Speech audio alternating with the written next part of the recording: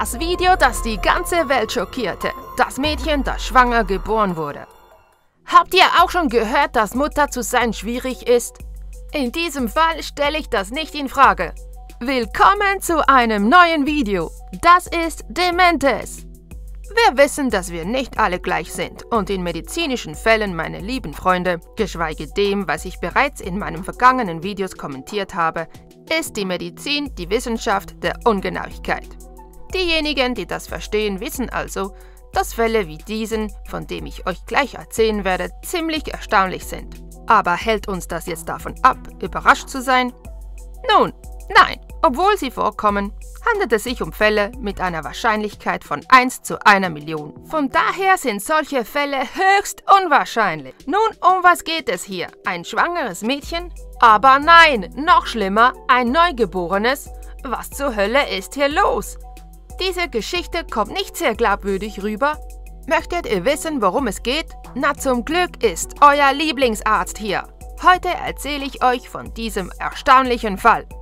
Moment, Moment! Bevor ich loslege, denkt daran, dass ich am Ende des Videos einige eurer speziellen Kommentare erwähnen werde, die ihr in den letzten Videos hinterlassen habt. Nun, macht es euch bequem und legen wir los! Das Video, das die ganze Welt schockierte. Das Mädchen, das schwanger geboren wurde. Das beispiellose Ereignis geschah Anfang 2019 in der kolumbianischen Stadt Barranquilla. Hm, erstaunlich. Ein seltsamer Fall, der nicht aus Indien oder den Vereinigten Staaten stammt. Faszinierend! Nun ja, machen wir weiter.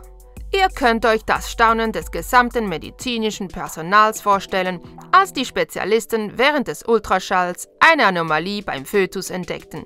Aber um was ging es? Nun, Monika Vega, Mutter des Mädchens, über das wir sprechen, war im siebten Monat schwanger, als der Arzt etwas Seltsames im Ultraschall entdeckte.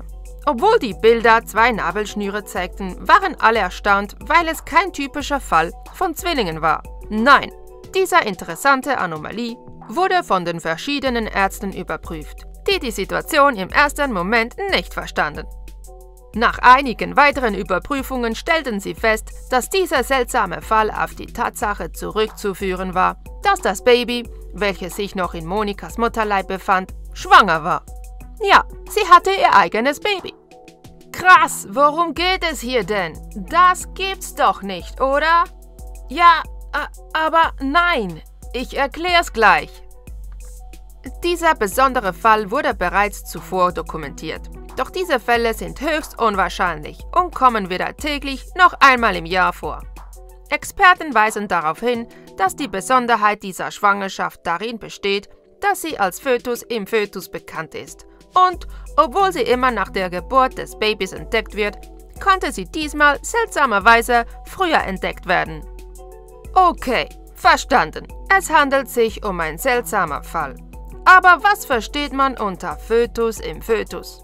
Nun, dies ist ein ungewöhnlicher Fall eines Embryos in einem anderen oder wie von der medizinischen Gesellschaft auch bekannt als parasitärer Zwilling und kommt vor, wenn sich die Zellen der Zwillingsbrüder oder Schwestern nicht zum richtigen Zeitpunkt teilen und sich in asymmetrischer Form entwickeln. Oh Mann, das bedeutet, dass ja, der Embryo, der in dem Körper des Mädchens erschien, war ihr Zwillingsbruder. Er konnte sich jedoch in der Gebärmutter nicht vollständig bilden. Ja, warum das so ist? Nun, jede lebende Struktur braucht Nährstoffe und Sauerstoff, um zu überleben.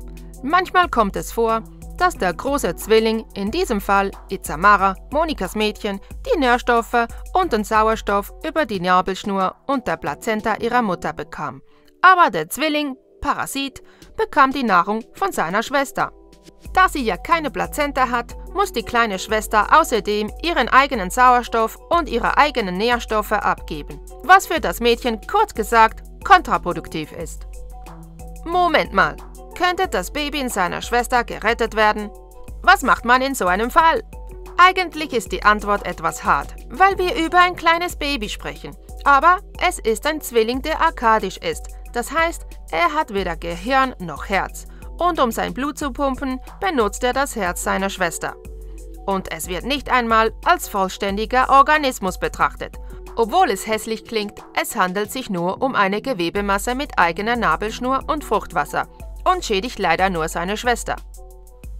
Wenn das Mädchen nicht rechtzeitig diagnostiziert worden wäre, hätte sie jahrelang mit diesem parasitären Fötus in ihrem Bauch wachsen können. Es ist wie mit einem großen Parasiten. Aber es ist eine Sache, einen Wurm zu haben und eine andere, eine Struktur zu haben, die dein Essen und deine Nahrung saugt und dir keinen Nutzen bringt. Dieser Parasit würde sie schwächen und ihr wichtige Nährstoffe entnehmen. Er hätte auch einige ihrer Organe schädigen können. Erklärte genau der für den Fall zuständige Arzt, mein Kollege Dr. Parra. Kurz gesagt, es war eine große Erleichterung, diesen Parasiten lange vor der Geburt des Babys zu entdecken. So konnten sie die Mutter notfallmäßig vorbereiten und dieses Problem lösen. Als die kleine Itzamara geboren wurde, musste sie sich einige Stunden später einer Operation unterziehen. Nun, Dr. Parra erklärte, dass sie beschlossen, Monika vor der 40. Schwangerschaftswoche einem Kaiserschnitt zu unterziehen da jeder Tag, den Nezamara im Mutterleib verbrachte, ein weiterer Tag mit diesem Parasiten war, der sie schwächte. Nach einer 24-stündigen Analyse und Vorbereiten konnten sie das Parasitenbaby, das sich in dem kleinen Mädchen gebildet hatte, operativ entfernen. Zum Glück lief alles gut und das Mädchen begann sich in kurzer Zeit zu erholen.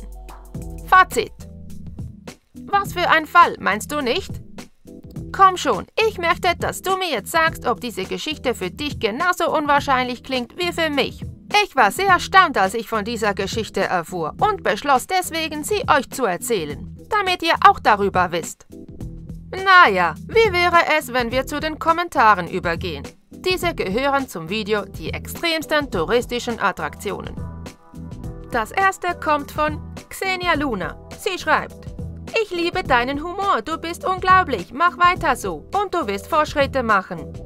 Hey, hallo Xenia, vielen Dank für deine Unterstützung. Grüße! Das nächste ist von Laura Novoa. Sag Hallo zu mir, ich versuche schon seit zwei Monaten. Hallo Laura, ich habe deine Kommentare gesehen. Es tut mir leid, dass ich so lange zum Antworten gebraucht habe. Eine große Umarmung für dich und ein großer Gruß. Danke für deine Unterstützung. Maria Rojas. Ich denke, die Leute haben viele Ideen. Naja, daran besteht kein Zweifel. Und einige davon klingen sogar schmerzhaft. Das nächste kommt von Eileen Choke. Hallo, ich liebe deine Videos. Sie bringen mich zum Lachen. Hallo Eileen, vielen Dank für deine Unterstützung. Dafür sind wir da. Grüße! Nun, das ist alles. Ihr könnt mir einen Kommentar, eine Frage oder eine Antwort auf einer der Fragen hinterlassen, die ich euch im Video stelle.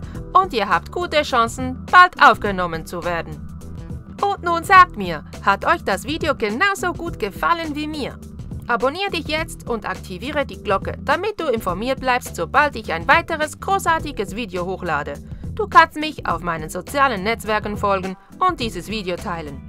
Ich lade dich ein, dich andere meiner Tops anzusehen. Ich lade jede Woche neue Videos hoch. Und das war's! Oh, geh noch nicht! Teile dieses Video, damit diese Familie die Welt dominiert. Dies ist Dementes und bis zum nächsten Mal!